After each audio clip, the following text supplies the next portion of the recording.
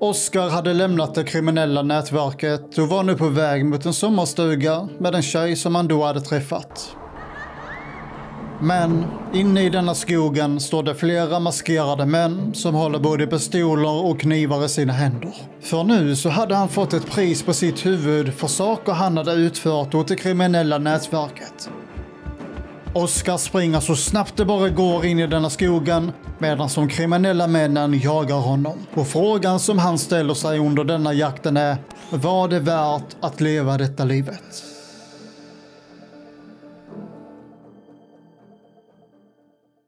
Jag kommer att prata om en kille som varit med i ett kriminellt nätverk som då ska vara en av de största här i Sverige. Precis som Leo som jag pratat om förut i en annan video så ville han också hoppa ur. Han ville inte vara kriminell längre. Och just detta slutade bara i kaos, precis som du hörde i introt. Denna mannen som jag ska prata om idag, han lever med en skyddad identitet. Han har bytt namn, han har flyttat iväg och allting sånt. Så därför så kommer jag kalla honom för Oscar. Men låt mig spola tillbaka tiden och berätta hur hamnade han i denna situationen? Innan vi fortsätter så ge gärna tumme upp och prenumerera.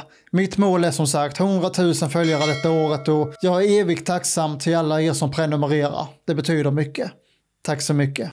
Oskar var en person som hade det svårt i skolan då han hade ADHD och dyslexi. Många barn som har detta brukar ha svårt att sitta still i skolan. Det är inte så lätt att sköta sig i och med man sitter på lektionen, tankarna skenar iväg och man har inte riktigt lyssnat på vad läraren säger. Man gör inte det med vilje, utan har man ADHD så är det lätt att det blir så. Och det är ju som så också att många lärare, de är inte så insatta i detta. Utan de tänker bara att jaha, det barnet sköter inte sig, den tramsar bara och gör inte vad man ska. Men så ligger det inte till alltid, utan de kan ha väldigt svårt för att sitta still och lyssna. Oskar kände sig då väldigt ensam, han kände sig missförstådd. Det var ingen som ville vara vän med honom, man hade ingen flickvän och lärarna trodde bara att ja, man sköter inte sig. Sen så var han även mobbad i skolan. Barnen som var där, de knuffade in honom i skåp, de sa elaka saker emot honom och detta höll på under flera års tid. Och även om någon lärare ser detta så stoppar de bara alltihopa och säger att nej men nu räcker det, nu får ni sluta. Men ingen av mobbarna åker ut ifrån skolan. Alltså det händer ingenting. Ingen blir utskickad för att man gör någon sån grej. Vid åttonde klass så hade Oskar tröttnat på detta och denna dagen så kommer hans liv förändras.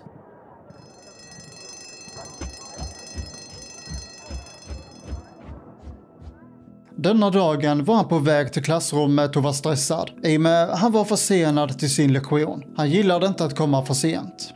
På vägen dit så ser Oskar att killarna från nionde klassen, de står i denna korridoren. Och det var dessa grabbar som höll på att mobba honom hela tiden. När han då går förbi dessa killarna stoppar de honom och säger att “gymma din ryggsäck, ta av den nu, gymma den. Oskar blir väldigt irriterad och säger att nej men jag är försenad till min lektion, jag måste gå vidare. Den ena mobbaren säger då till honom att du ska ställa dig på alla fyra och visste nu om att de ska troligen förnedra mig och jag tänker inte acceptera detta mera. Och sa då till dem att nej, det tänker jag inte göra. En av killarna knuffar då till honom så pass hårt att han faller ner till marken och säger ännu en gång att ställ dig på alla fyra. Oskar kände att ja, ja, men jag har väl inget val. Om jag inte gör detta så kommer jag aldrig härifrån. Mobbaren som då sa till honom att ställa på alla fyra, han satte sig på hans rygg, tog tag i hans krage och ströp honom lite och sa till honom att du ska rida mig ner för denna korridoren. Du är min lilla ponny och eh, smiskade honom på sidan. Medan de då red i korridoren så skrek killen att rid min ponny, rid mig. Oskar hörde då att alla mobbarna skrattade åt honom. Även tjejerna som såg detta skrattade åt honom och det kändes fruktansvärt förnedrande. Och nu kände han att det räcker. Jag tänker inte tillåta detta någonting mera. För när en person blir mobbad så antingen så ger de tillbaka eller så kan de till och med gå bort. För de de vill inte leva längre. Men Oscar, han ville leva och ville nu få ett slut på det här. Så när de väl kommer till en trapp så säger killen till honom att du ska vända dig om och gå vidare i korridoren igen, min lilla ponny. Oscar han flippar ut. Han ställer sig upp och kastar av killen. Killen som då satt på ryggen, han trillade ner för denna trappan som de var vid. När mobbaren väl har slutat rulla springer Oskar ner till honom, sätter sig över honom och ja, ger honom en rejäl omgång. Lärarna de såg ju såklart detta och sprang dit och försökte stoppa det. Men det var så pass svårt för Oskar var så arg, höll fast honom så det var svårt att kunna dra väck honom därifrån. Efter detta så fick man självförtroende, man kände sig mer säker och det kändes väldigt skönt att kunna ge tillbaka. Och rädslan för dessa mobbarna, den fanns inte kvar längre. Och även om ena killen fick stryk så fortsatte de andra några dagar senare. Då ville de vara kaxiga igen. Men i och med Oskar hade tröttnat på detta så gav han varenda mobbare stryk. Så fort de sa någonting, ja, då fick de en lusing. Så efter han hade gett tillbaka, ja, då slutade de mobba honom mera. Tack vare att han satte ner foten och satte stopp för det här så fick han även nya vänner. Och samtidigt så träffade han även på en tjej som blev hans flickvän. Och de nya vännerna som han träffade, det var inte de bästa om vi säger så. För dessa personer gillade inte skolan, de skötte inte sig, de var ute och slogs och ja, de hittade på en massa skit. Därav så gjorde ju också Oscar samma sak. Och dessa nya vänner, de var lite äldre än honom och ja, han såg upp till dem. Han tyckte de var coola. I vilket fall som så kändes allting bra till slut. Det kändes precis som att nu kommer livet vända till någonting bra. Men just det som har hänt nu, det är bara första steget för han att hamna på fel bana. När det skulle bli klassfest i skolan så ville både han och vännerna ha alkohol. Men problemet var att de var så pass unga så det var inte lätt att få tag på. Oskar sa då till sina vänner att ni kan vara lugna, jag fixar denna biten. Och lyckades då få tag i en kille som köpte öl till dem. De nya vännerna blev glada och han fick mer respekt nu också. Och just detta, det är ju inget speciellt egentligen. Men just detta är också ett annat steg för han att komma in i den kriminella världen. I och med efter denna händelse så träffade Oskar på en ny vän. Och denna killen, han rökte cannabis. Han sålde inte, men han rökte. Och tack vare denna nya vännen kunde man fixa både cannabis och alkohol till sina nya vänner. Så varenda helg, jo, till och med på vardagarna så festade dessa grabbar. Och slagsmålen de fortsatte också i skolan. Om någon var kaxig eller skrattade åt honom på något vis så, ja, de fick stryk.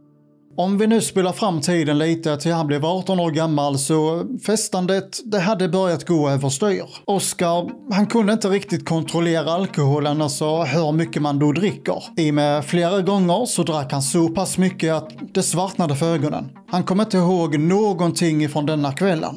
Och vaknade upp några gånger i häktet för att då ha misshandlat folk på stan under sitt rus. Men han kom inte ihåg det alls, att det ens hade hänt. Sen så vågade ingen vittna eller gå vidare med någon anmälan heller. Då dessa personer blir så pass rädda. Därav så, ja, man kom ut ifrån häktet efter bara ett par dagar. De nya vännerna, de tyckte det var så häftigt. De uppmuntrade honom, kallade han för kingen, du är legenden, du är bäst och ja, olika komplimanger. Saken är ju den att under sin uppväxt så fick man ingen uppmärksamhet alls. Utan det var ju bara folk som mobbade honom. Man fick ingen beröm eller någonting sånt. Även om det var negativ beröm som han fick nu så uppskattade han orden väldigt mycket. Och under alla dessa åren så hade han ju varit mellanhand. Alltså han fixade cannabis, alkohol och ja, sådana saker till sina vänner. Fast nu så hade han tröttnat på det och ville istället vara den personen som tjänade pengar på det. I och med att man gick till en annan kille, betalade honom och lämnade grejerna till sina vänner. Man tjänade absolut ingenting på det. Så varför ska jag göra det? Jag kan ju sälja och tjäna pengar istället. Oskar kontaktade då killen ifrån det kriminella nätverket, den personen man fixade droger utav, och berättade då att jag vill börja sälja åt er.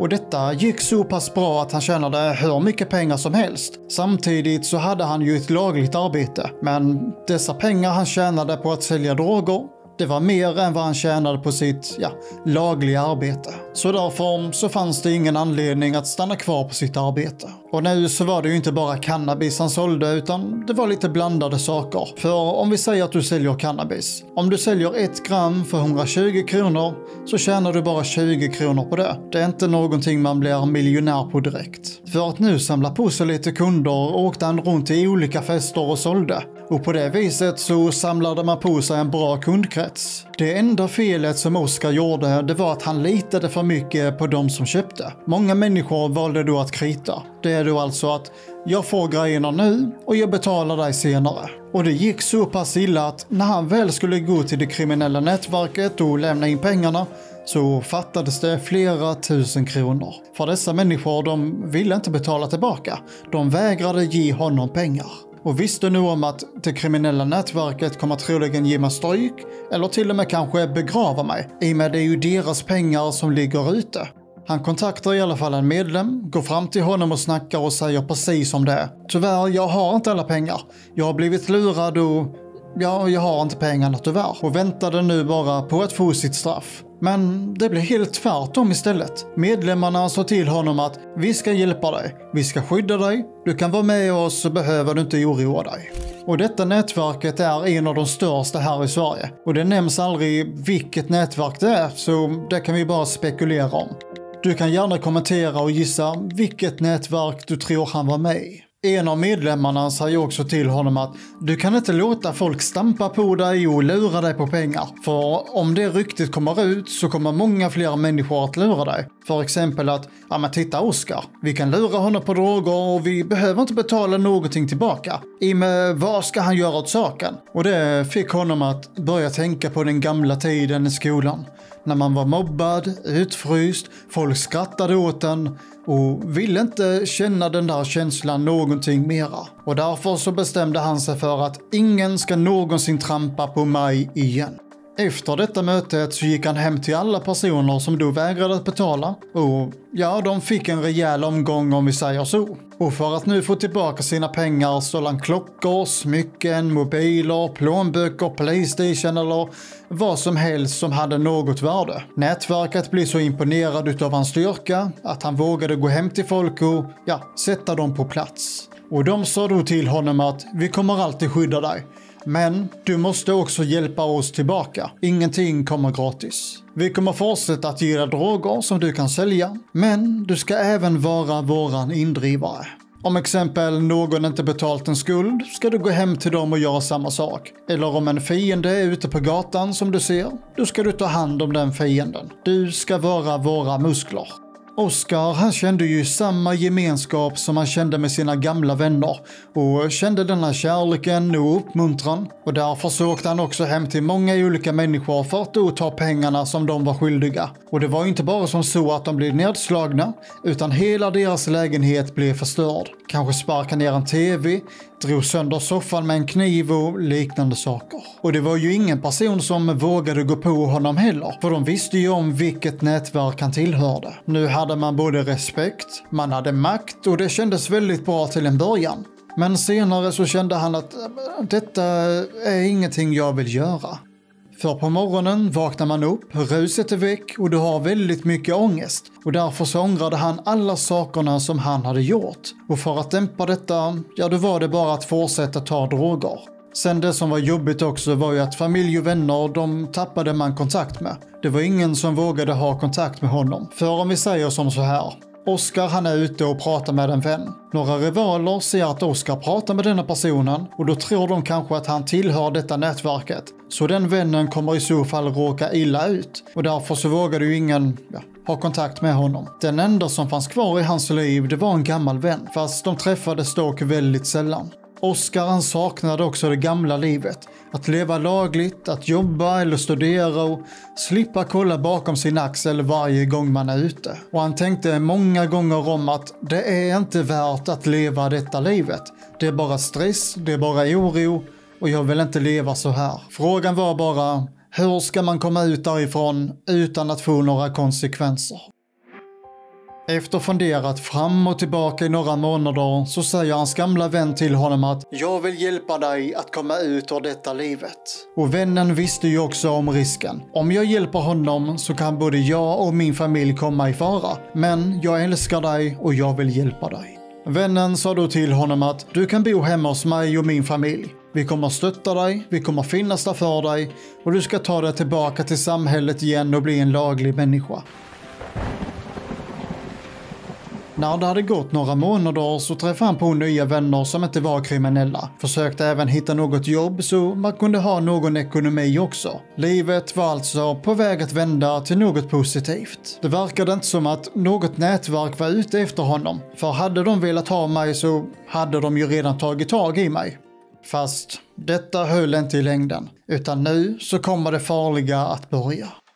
En dag så satt Oskar och pratade med en gammal vän och fick då reda på att han har ett pris på sitt huvud och förstod inte riktigt varför har jag det? Jag har ju ingen kontakt med det kriminella nätverket jag var med i. Jag hade inte gjort någon indrivning hos någon person på flera månader. Så vem är det som är ute efter mig? Oron och stressen, ja, den var tillbaka igen och behövde hela tiden kolla bakom sin axel på grund av rädsla. Och var så fruktansvärt trött på att leva så här. Han ville ju ta sig ur. Han ville inte vara en sån här person längre. Och några dagar senare så får han uppleva en sak som han inte trodde han skulle vara med om.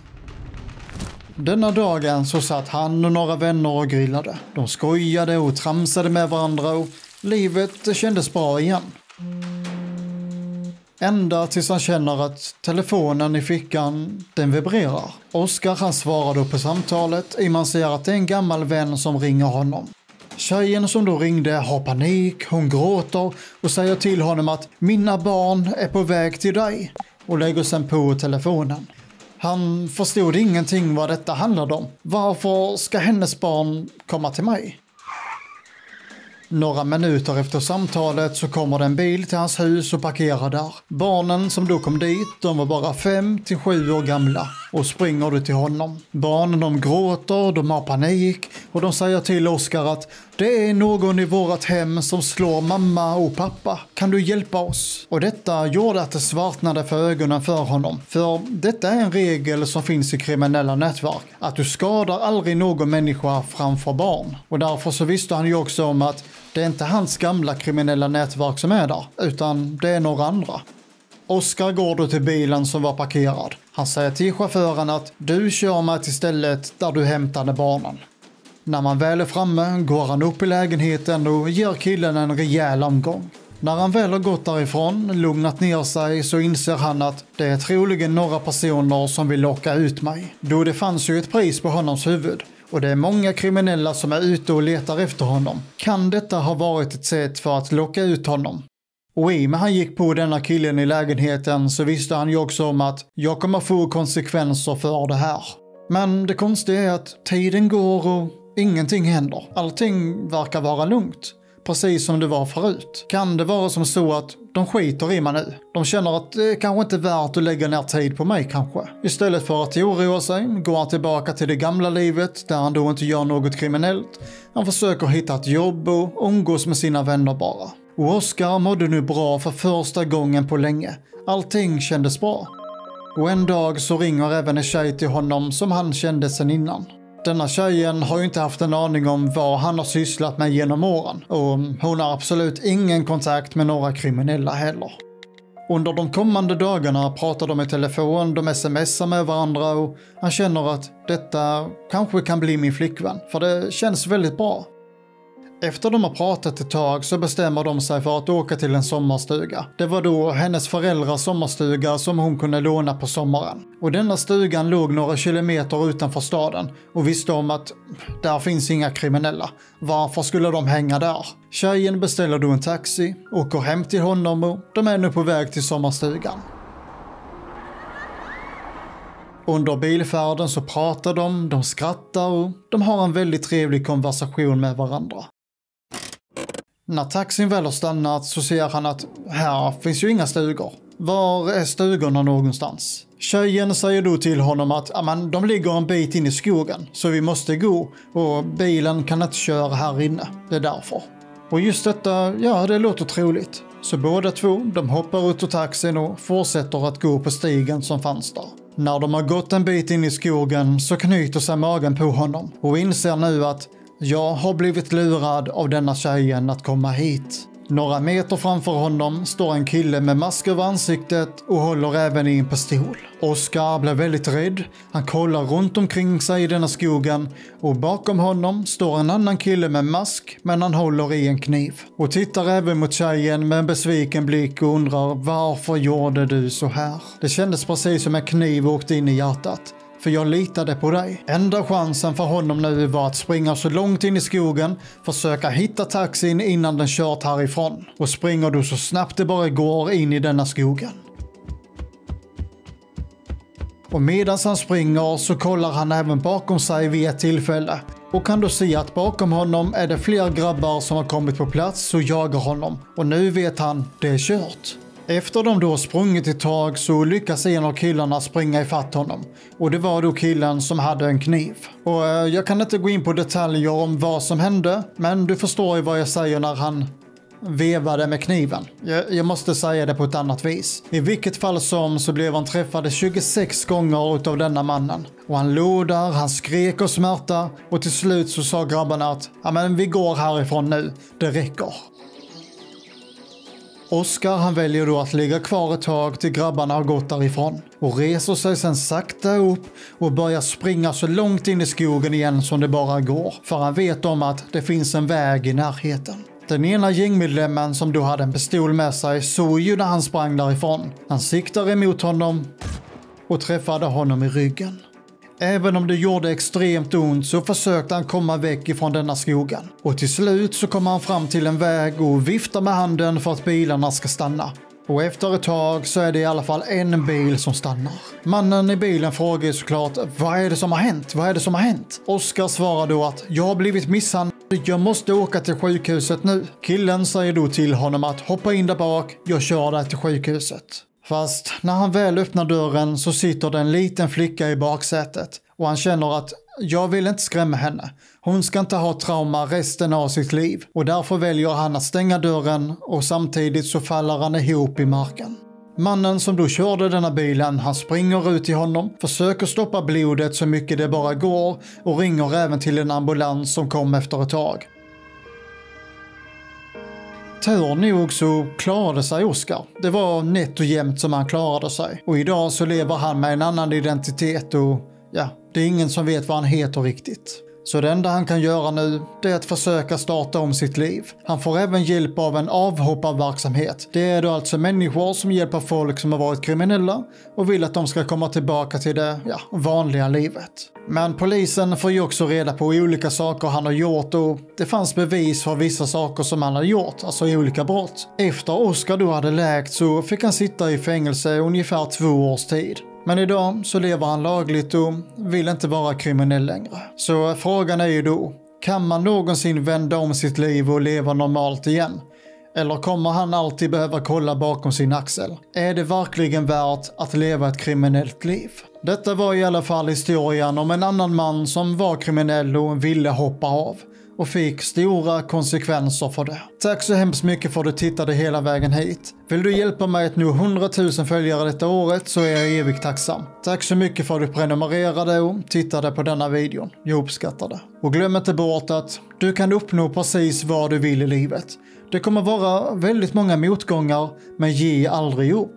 För du kommer uppnå det du vill uppnå. Det är väldigt svårt, men det går. Bara tro på dig själv och ge aldrig upp. Okej? Okay? Men du får det så gött. Sköt om dig. Tja!